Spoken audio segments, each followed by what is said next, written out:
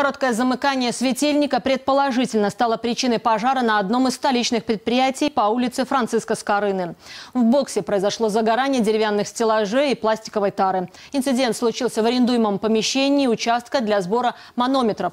На ликвидацию огня были направлены шесть автомобилей МЧС. Пострадавших нет, эвакуация не потребовалась. В результате возгорания поврежденными оказались стеллажи, закопченные стены и потолок внутри помещения.